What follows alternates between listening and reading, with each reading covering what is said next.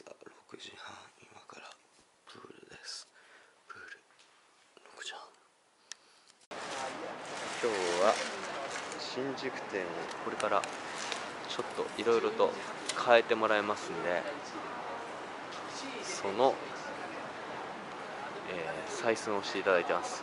そうです。今日は朝6時から、えーとスイムに行きましてその後今ですね今11時これから表参道で椅子を取りに行って夜はうんちマンさんのセミナー。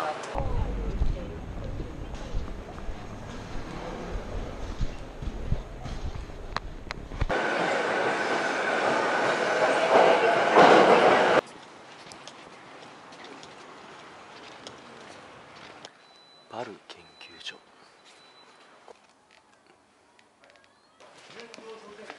高円寺来ないな。